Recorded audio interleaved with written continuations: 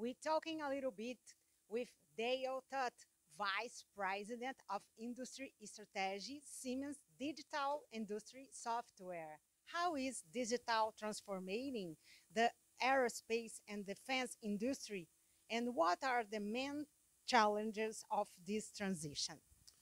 Yeah, it's it, it is a very good example of what we're seeing in, in aerospace and defense right now is is what with the, many of the new programs they're going so much faster now. They're under so much pressure to deliver their new programs faster on on on cost. They're managing their you know their sustainability output. So really what we're seeing is they're just under a lot of pressure. And they also have challenges which is hiring enough workers to, to do these roles. And they need people that are specialized skill sets like systems engineering software engineering. And so what we're seeing with digital transformation is that it's really enabling these companies to deliver their programs on schedule uh, with less risk. They are uh, designing their products faster. They're being able to do more virtual testing so that once they get into uh, the actual building the prototypes, reducing the number of prototypes in many cases, but they're able to they're able to go through their test programs much faster because they found problems in the virtual testing world before they got to uh, before they got into the physical testing. So we're seeing across the board that they're able to address their productivity gaps uh, and as well as help them to deliver their products on schedule and programs on schedule. How this technology helping to reduce costs and accelerate the development of new products? Absolutely. Well, we we at the core of all the digital transformation is the comprehensive digital twin, and so a lot of times people think about digital twins in the context of uh, 3D geometry and simulation models, but in reality, it's, it is that, but it's also all of the information it takes to produce a part or a product. And so in aerospace and defense, you build a new airplane. You, you have cost data, you have requirements that's driving all your design and your testing efforts. And so it's really all of this information and how you manufacture it coming together that helps these companies understand how their product is going to operate, but then also how they're going to build it and maintain it once it gets out in the field. And so this is very critical because now it's them enabling them you because you have this understanding, you're now in a position to make faster decisions and better decisions. So it's time to make a change, and you're now able to assess the impact of that change much more clearly because you have this understanding with the digital twin. And so at the core of all digital transformation is a comprehensive digital twin and really being able to use that to make better, more effective decisions. What technological trends do you believe we have the greatest impact on this industry in the coming years?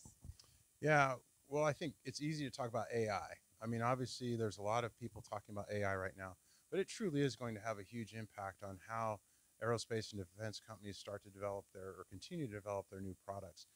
Uh, many companies are still, you know, they they are struggling to hire uh, many, you know, they're struggling to hire people and so they're filling the gaps with technology. They're filling the gaps, those those uh, those gaps with uh, AI. And so AI is going to enable those tools to work more effectively and empower those people to really be able to focus on solving some of those complex problems. So that's a big trend. AI certainly is going to help with the productivity of a lot of these people.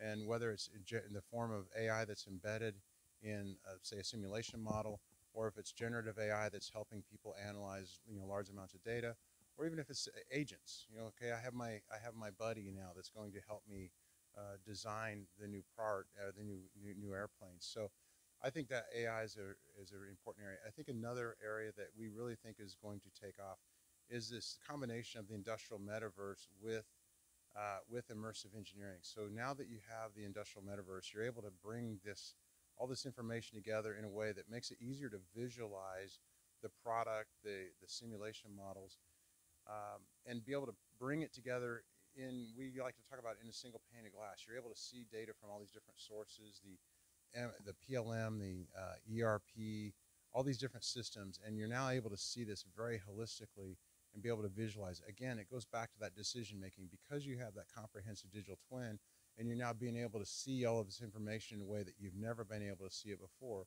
You're now able to uh, to make those better decisions. And then I think just as a part of that is this immersive engineering. People are now going to be, engineers are going to be working, they're going to be designing the new airplanes in context. They, it's almost like they're working on the airplane, but they're actually designing the airplane.